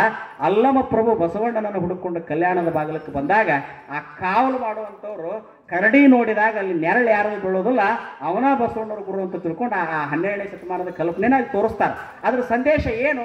ಭಾಳ ಮಂದಿ ನೋಡಿದ್ರಿ, ನೀವು ಯಾರಿಗೂ ಕೂಡ ಅದು ಭಾಳ ಮಂದಿಗೆ ನಾಟಕ ನೀನು ಅರ್ಥ ಆಗಲಿಲ್ಲ. ಭಾಳ ಮಂದಿ ನನ್ನ ಪ್ರಶ್ನೆ ಮಾಡಿದ್ರು. ಅದನ್ನ ಹೋಗಿ ನಾ ಮತ್ತೆ ಅವ್ರಿಗೆ ಅರ್ಧ ತಾಸು ವಿವರಣೆ ಮಾಡಿ ನಾನು ನಾಟಕ ಹೋಗಂದ್ರೆ ಇದು ಹಿಂಗೈತೇನ್ರಿ? ಅಲ್ಲಿ ಪ್ರಭು ಒಂದು ಕಲ್ಯಾಣದ ಬಾಗಿಲಿಕ್ಕೆ ನಿಂತಾಗ ಅವರಿಬ್ರು ಕಾವಲುಗಾರರನ್ನು ಬಿಡೋದಲ್ಲ. ಬಸವಣ್ಣವ್ರು ಎಲ್ಲಿ ಅಂದ್ರೆ ಏನು ತೋರಿಸಿದ್ರು? ಸರ್ಕಲ್ ಆಗಿರೋ ಮೂರ್ತಿ ತೋರಿಸಿದ್ರು. ಬಸವಣ್ಣವ್ರನ್ನ ಫೋಟೋದಾಗ ತೋರಿಸಿದ್ರು. ಸರ್ಕಲ್ದಾಗ ತೋರಿಸಿದ್ರು. ಮುಖ್ಯಮಂತ್ರಿಗಳು ಬಂದು ಉದ್ಘಾಟನೆ ಮಾಡಕತ್ತಾರ. ಗಂಟೆ ಗಟ್ಟಲೆ ನಮ್ಮಂತ ಅವ್ರ ಬಗ್ಗೆ ಪ್ರವಚನ ಮಾಡ್ತಾರ, ಭಾಷಣ ಮಾಡ್ತಾರ. ಇನ್ನೆಲ್ಲಿ ಬಸವಣ್ಣವ್ರು ಹುಡುಕೋದು ಅಂದಾಗ, ಪ್ರಭು, ಆ ಬಸವಣ್ಣ ಬೇಡ ನನಗ. ಹಡಪದ ಅಪ್ಪಣ್ಣ ಕುಂಬಾರ ಗುಂಡಯ್ಯ ಮಾದರ ಚೆನ್ನಯ್ಯನ ಕೂಡಿದ್ದು ಬಸವಣ್ಣ ಬೇಕಂತ ಕೇಳಿದಾಗ ಈ ಒಂದು ಮಾತು ನಾವು ತಿಳ್ಕೊಬೇಕು. ಬಸವಣ್ಣನನ್ನ ಸಂಪ್ರದಾಯವಾದಿಗಳ ಕಟ್ಟಿ ಹಾಕೊಂಡಿವೆ ಅವನು ಬಿಚ್ಚಿ ಬಿಡಬೇಕು ಅನ್ನುವಂಥ ಸಂದೇಶವನ್ನು ಆ ನಾಟಕದಲ್ಲಿ ಕೊಡ್ತದೆ, ಸೂಕ್ಷ್ಮವಾಗಿ ಕೊಡ್ತದೆ. ಇನ್ನೊಂದು ಸಂದೇಶ ಅದರಲ್ಲಿ ಮುಖ್ಯ ಬರ್ತದೆ. ಕೊನೆಗೆ ಬಸವಣ್ಣನನ್ನು ಕರ್ಕೊಂಡು ಪ್ರಭು ಹೋಗ್ಬೇಕಾದ್ರೆ ಬಸವಣ್ಣ ಏನಂತಾನ, ನನ್ನ ಬಿಟ್ಟು ನೀವು ಹೊಕ್ಕಿ ಅಂದ್ರೆ ನಾನು ನೀನು ಕೂಡ ಬರ್ತೇನೆ ಅಂತ ತಿಳ್ಕೊಂಡಂದಾಗ ಪ್ರಭು ಏನಂದ ಬಸವಣ್ಣಗ, ನಿನ್ನ ಇಷ್ಟಲಿಂಗದ ಗತಿ ಏನಾಗಬೇಕು? ಅಂದಾಗ ನೀನೇ ಇಲ್ಲ ಅಂದ ಮೇಲೆ ಆ ಲಿಂಗಾನ ತಗೊಂಡು ಏನು ಮಾಡಲಿ ಅಂತ ಹೇಳ್ತಾನೆ ಬಸವಣ್ಣ. ನೋಡಿ ಎಷ್ಟು ಸಂದೇಶಗಳು ಸೂಕ್ಷ್ಮ ಅದಾವಲ್ಲಿ ಕೊನೆಗೆ ಪ್ರಭು ಏನು ಹೇಳ್ತಾನ? ನಿನ್ನ ಜೊತೆ ನಿನ್ನ ಶರಣರೆಲ್ಲರನ್ನ ಕರ್ಕೊಂಡು ಬಾ. ಆಮೇಲೆ ಹೊಸ ಕಲ್ಯಾಣ ಕಟ್ಟೋನಂತಾನ ಆ ಭವಿಷ್ಯತ್ ಕಲ್ಯಾಣ ಯಾವುದಪ್ಪ ಅಂದ್ರೆ ನಾವು ಇವತ್ತು ಏನು ಬೇಲಿ ಹಾಕ್ಕೊಂಡಿವೆಲ್ಲ ಬಸವದಳ, ಬಸವ ಕೇಂದ್ರ, ಅಂಬಿಗರು, ಅಂಬಿಗರ ಚೌಡಯ್ಯ ಲಿಂಗಾಯನಮ. ಹಡಪದವರು ಹಡಪದಪ್ಪಣ್ಣ ಲಿಂಗಾಯನಮ. ಹೌದಾ? ಇದನ್ನ ಸಿರಿಗೆರೆಯ ಶಿವಕುಮಾರ ಜಗದ್ಗುರುಗಳವರ ಶಿಷ್ಯರಾದ ಮಹಾದೇವ ಬಡಕಾರ್ ಅವರು ನಲವತ್ತೈದು ಐವತ್ತು ವರ್ಷದಿಂದ ಹೇಳಿದ್ರು. ಇದು ಒಳ್ಳೆ ವ್ಯವಸ್ಥೆ ಅಲ್ಲ ಮರುಳ ಸಿದ್ಧಾಯನಮ ಶ್ರೀ ಗುರು ಬಸವಲಿಂಗಾಯನಮ ಅನ್ನಬೇಕು. ಅಂಬಿಗರ ಚೌಡಯ್ಯ ಲಿಂಗಾಯನ ಮಾಡಬಾರದು ಅಲ್ಲಿ ಶ್ರೀ ಗುರು ಬಸವಲಿಂಗಾಯನ ಅನ್ನಬೇಕು. ಹಡಪದಪ್ಪಣ್ಣ ಲಿಂಗಾಯನ ಮಾಡಬಾರದು ಅಲ್ಲಿ ಶ್ರೀ ಗುರು ಬಸವಲಿಂಗಾಯನ ಮನ ಅನ್ಬೇಕು ಯಾಕಂದ್ರೆ ನಾವೆಲ್ಲರೂ ನಮ್ಮ ನಮ್ಮ ಶರಣರನ್ನ ಬ್ಯಾರೆ ತಗೊಂಡು ಬ್ಯಾರೆ ತಗೊಂಡು ಬ್ಯಾರೆ ತಗೊಂಡು ಹೋಗಿಬಿಟ್ರೆ ಮುಂದೆ ಶ್ರೀ ಗುರು ಬಸವಲಿಂಗಾಯನಮ ಅನ್ನೋರನ್ನ ಹಗಲೆತ್ತು ಹುಡುಕ್ಯಾಡೋ ಕಾಲ ಬರ್ತೈತೆ ಅಂತ ತಿಳ್ಕೊಂಡು ಇದನ್ನ ಐವತ್ತು ವರ್ಷದಿಂದ ಮಹಾದೇವ ಬಣಕಾರ ಅವರು ಬರೆದಿದ್ರು. ಇವತ್ತು ಆ ಪರಿಸ್ಥಿತಿ ಬಂದರೆ ಏನು ಬಂದತ್ತೆ ಅಂದ್ರೆ ಅಂಬಿಗರ ಚೌಡಯ್ಯನ ಜಯಂತಿ ಮಾಡೋದ್ರಾಗ ಬಸವಣ್ಣವ್ರ ಫೋಟೋ ಹಾಕಕ್ಕೆ ಅವ್ರಿಗೆ ಅಭಿಮಾನ ಕಾಡಕತ್ತೈತಿ ಹೇಮರೆಡ್ಡಿ ಮಲ್ಲಮ್ಮ ವೇಮನನ ಜಯಂತಿ ಮಾಡುವಾಗ ಬಸವಣ್ಣವ್ರ ಫೋಟೋ ಹಾಕಕ್ಕೆ ಅವ್ರಿಗೆ ಅಭಿಮಾನ ಕಾಡಕತ್ತೈತಿ ಮೊನ್ನೆ ಒಬ್ಬ ಶರಣರ ಜಯಂತಿ ನಡೀತು. ಆ ಶರಣರ ಜಯಂತಿ ನಡೆಯುವಾಗ ವೇದಿಕೆ ಮೇಲೆ ಬಸವಣ್ಣವ್ರ ಹೆಸರು ಹೇಳಕ್ಕೆ ಅವ್ರಿಗೆ ಅಭಿಮಾನ ಕಾಣಕತ್ತೆ ಅಂದ್ರೆ ಎಷ್ಟರ ಮಟ್ಟಿಗೆ ಬಸವಣ್ಣನವರನ್ನ ಅವ್ರು ಅರ್ಥ ಮಾಡ್ಕೊಂಡಿದ್ದಾರೆ.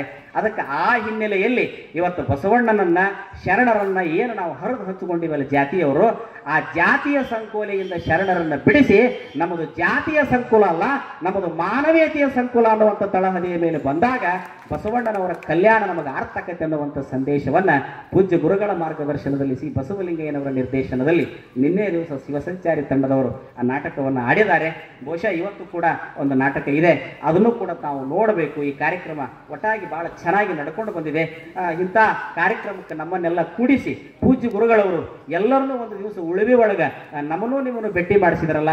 ಬಹುಶಃ ಚನ್ನಬಸವಣ್ಣನವರು ಎಲ್ಲಿ ಹೋಗಿಲ್ಲ, ಇವರ ರೂಪದಾಗ ಅವರು ಇಲ್ಲಿ ಆಧಾರ ಅಂತ ನಾವು ತಿಳ್ಕೊಂಡು ಭಾವಿಸಿದ್ರೆ ತಪ್ಪಾಗಲಿಕ್ಕಿಲ್ಲ ಅನ್ನುವಂಥ ಮಾತನ್ನು ಈ ಸಂದರ್ಭದಲ್ಲಿ ಹೇಳಿ ಇವತ್ತು ಅವರಿಗೆಲ್ಲರೂ ಸಹಾಯ ಮಾಡಿದ್ದಾರೆ. ನಮ್ಮ ಬೆಳಗಾವಿ ಜಿಲ್ಲೆಯ ಕಲ್ಯಾಣ ಹೆಬ್ಬಾಳದ ಹುಡುಗರು ಬಂದು ಪ್ರತಿ ದಿವಸ ಇಲ್ಲಿ ಅಡಿಗೆಗೆ ನಿಂತಿದ್ದಾರೆ. ಭದ್ರಾವತಿಯ ತಾಯಂದಿರು ಬಂದು ಅಲ್ಲಿ ಎಲ್ಲಾ ಸ್ವಾಮಿಗಳ ವ್ಯವಸ್ಥೆಯನ್ನು ಮಾಡಿದ್ದಾರೆ. ಶಿವಮೊಗ್ಗ ಭಾಗದ ತಾಯಂದಿರು ಬಂದು ವ್ಯವಸ್ಥೆ ಮಾಡಿದ್ದಾರೆ. ಬೆಂಗಳೂರಿನಿಂದ ಬಹುಶಃ ಈ ಪತ್ರಿಕೆ ನೋಡಿದ್ರೆ ಗುರುಗಳು ಒಬ್ಬ ಕಸ ಹೊಡೆಯವ್ರನ್ನು ಬಿಟ್ಟಿಲ್ಲ, ಒಬ್ಬ ರಂಗೋಲಿ ಹಾಕೋರ್ನು ಬಿಟ್ಟಿಲ್ಲ. ಹೆಂಗೆ ಕಲ್ಯಾಣದ ಬಸವಣ್ಣ ಒಬ್ಬ ಕಟ್ಟ ಕಡೆಯ ಸೂಳೆ ಸಂಘವನ್ನು ಗುರುತಿಸಿ ತನ್ನ ಅನುಭವ ಮಂಟಪದಲ್ಲಿ ಕರೆದ, ಹಂಗ ಎಲ್ಲರನ್ನು ಪ್ರೀತಿಯಿಂದ ಗುರುಗಳು ಗುರುತಿಸಿ ಪತ್ರಿಕೆಯಲ್ಲಿ ಹಿಡಿದಿಟ್ಟು ಎಲ್ಲರ ಯೋಗಕ್ಷೇಮವನ್ನ ಇಂಥ ರಸ್ತೆ ಇಲ್ಲದ ದಟ್ಟ ಅರಣ್ಯದಲ್ಲಿ ಮಾಡಿದ್ದಾರೆ. ಈ ಕಾರ್ಯಕ್ರಮ ನಮ್ಮ ಮಠಗಳಲ್ಲಿ ಲಕ್ಷ ಮಂದಿ ಕೂಡಿ ಮಾಡೋದು ಆಟ, ಇಲ್ಲಿ ನೂರು ಮಂದಿ ಕೂಡಿಸಿ ಮಾಡೋದು ಕಿಮ್ಮತ್ತು ಅಷ್ಟ. ಅದಕ್ಕೆ ಇಲ್ಲಿ ಮಾಡಿದ ಕಿಮ್ಮತ್ತು ಬಹಳ ದೊಡ್ಡದಿದೆ.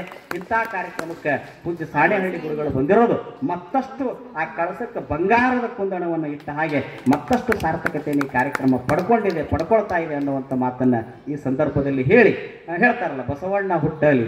ಹೊಸಪ್ಯಾಟಿ ಕಟ್ಟಲಿ, ರಸಬಾಳಿ ಕಬ್ಬು ಬೆಳೆಯಲಿ, ಕಲ್ಯಾಣದ ಬಸವಣ್ಣನ ತೇರು ಎಳೆಯಲಿ ಅಂದಂಗ ಬಸವಣ್ಣನ ತೇರು ಅದು ಕಲ್ಯಾಣದಿಂದ ಉಳಿವಿಗೆ ಬಂದೈತಿ. ಇನ್ನು ಉಳಿವಿಯಿಂದ ನಾಡಿನ ತುಂಬ ಎಲ್ಲ ಕಡೆ ಅದು ಸಾಂಸ್ಕೃತಿಕ ನಾಯಕನಾಗೋ ಮಠ ಮತ್ತೆ ಬಸವಣ್ಣನ ತೇರು ಕಾಲಕ್ಕೆ ತಕ್ಕಂಗೆ ಅದು ಎಳಿತಾ ಇದೆ. ನಾವು ಜಾಗೃತರಾಗೋಣ ಲಿಂಗಾಯತರು, ಎಲ್ಲರನ್ನ ಅಪ್ಪಿಕೊಳ್ಳೋಣ ವಿಶ್ವಮಾನವರಾಗೋಣ, ವಿಶ್ವ ಸಂದೇಶಗಳನ್ನು ಕೊಟ್ಟಂತ ಬಸವಣ್ಣನವರನ್ನ ಜಾತಿಯ ಸಂಕೋಲೆಯಿಂದ ಹೊರಗೆ ಬಿಟ್ಟು ಬಸವನ ಬೆಳಕೆ ಎಲ್ಲಾಡಿ ಬಂದೆ. ಭಾರತವೆಲ್ಲ ಸುತ್ತಾಡಿ ಬಂದೆ. ಬಸವನ ಬೆಳಕೆ ಎಲ್ಲಿಗೆ ಮುಂದೆ? ವಿಶ್ವವೆಲ್ಲ ನನ್ನದೇ ಅಂತ ಹೇಳ್ತಾರೆ. ಶ್ರೀಲಂಕಾದೊಳಗೆ ಇವತ್ತು ಬಸವ ತತ್ವ ಸಮ್ಮೇಳನ ನಡೆದಿದೆ ಕೊಲಂಬೋದಲ್ಲಿ. ನೆನಪಿಟ್ಟುಕೊಳ್ರಿ ಬಸವಣ್ಣ, ಒಂದು ಕಾಲದ ಕಟ್ಟಳೆ ಅಲ್ಲ. ಅದು ಎಲ್ಲ ಕಾಲಕ್ಕೂ ಸಲ್ಲುವಂತ ತತ್ವಗಳನ್ನ ಈ ಜಗತ್ತಿನಲ್ಲಿ ಕೊಟ್ಟವರು ಯಾರಿದ್ರ? ಅವರು ಜಗದ್ಗುರು ಬಸವಣ್ಣನವರು ಅನ್ನುವಂಥದ್ದನ್ನು ಜೀವರಿಗೆ ಷಣ್ಮುಖ ಶ್ರೀಗಳು ಹೇಳ್ಕೊಂಡು ಬರ್ತಾರೆ. ಆ ಹಿನ್ನೆಲೆಯಲ್ಲಿ ಬಸವರಾಜರು ನಮಗೆ ನಡೆಯ ಕಲಿಸಿದವರು, ನುಡಿಯ ಕಲಿಸಿದವರು, ಉಡಲು ಕಲಿಸಿದವರು ಉಡಲು ಕಲಿಸಿದವರು, ಅವರಿಂದಾನ ನಾವು ಬದುಕಿವಿ. ಬಹುಶಃ ಒಂದರ ಮುಂದೆ ಪೂಜೆ ಇಟ್ಟರೆ ಹತ್ತು, ನೂರು, ಸಾವಿರ, ಲಕ್ಷ, ಕೋಟಿ, ಆ ಒಂದ ತೆಗೆದು ಬಿಟ್ಟರೆ ಶೂನ್ಯ ಆಗಿಬಿಡ್ತದ. ಹಂಗ ಕರ್ನಾಟಕದ ಇತಿಹಾಸದಲ್ಲಿ ಬಸವಣ್ಣ ಅನ್ನುವಂತ ಒಂದಿದ್ರ ಕರ್ನಾಟಕಕ್ಕೂ ಬೆಲೆ ಬರ್ತತಿ, ಭಾರತಕ್ಕೂ ಬೆಲೆ ಬರ್ತತಿ. ಬಸವಣ್ಣ ಅನ್ನೋ ಒಂದು ತೆಗೆದು ಬಿಟ್ರ ಅದು ಶೂನ್ಯ ಆಗಿ ಹೋಗ್ಬಿಡ್ತತಿ. ಅದಕ್ಕೆ ಬಸವಣ್ಣನೇ ರಾಜ್ಯದ ಸಿರಿಯು, ಬಸವಣ್ಣನೇ ಬಡವರ ನಿಧಿಯು ಬಸವಣ್ಣ ಮಳೆಯು ಬೆಳೆಯು ನಾಡೊಳಗೆ ಬಸವನೇ ಸ್ವರ್ಗಕ್ಕೆ ಸೋಪಾನ ಅಂತ ತಿಳ್ಕೊಂಡು ಜನಪದರು ಹೇಳಿದ್ದಾರೆ, ಅಂತ ಬಸವಣ್ಣ ನಮ್ಮ ಮಧ್ಯದಲ್ಲಿ ಇನ್ನೂ ಇವತ್ತು ಒಂಬೈನೂರು ವರ್ಷ ಆದರೂ ಉಳ್ಕೊಂಡಿದ್ದಾರೆ. ಒಂಬೈನೂರು ಅಲ್ಲ, ಇನ್ನೂ ಒಂಬೈನೂರು ವರ್ಷಗಳು ಕಳೆದ್ರು ಬಸವಣ್ಣನನ್ನು ಅಳಕಿಸಲಿಕ್ಕೆ ಯಾರ ಕಡೆಯಿಂದ ಸಾಧ್ಯ ಇಲ್ಲ ಅನ್ನುವಂತಹ ಸಾರ್ವಕಾಲಿಕ ಸತ್ಯವನ್ನು ನಾವು ಇಂಥ ಕಾರ್ಯಕ್ರಮಗಳ ಮೂಲಕ ತಿಳ್ಕೊಂಡು ನಮ್ಮ ಬದುಕನ್ನು ಬಸವಾದಿ ಶರಣರ ಆಚರಣೆಗಳ ಮೂಲಕ ಪವಿತ್ರ ಮಾಡಿಕೊಳ್ಳೋಣ ಅಂತ ಹೇಳ್ತಾ ನನ್ನ ಮಾತುಗಳಿಗೆ ವಿರಾಮ ಕೊಡ್ತೇನೆ. ಧನ್ಯವಾದ.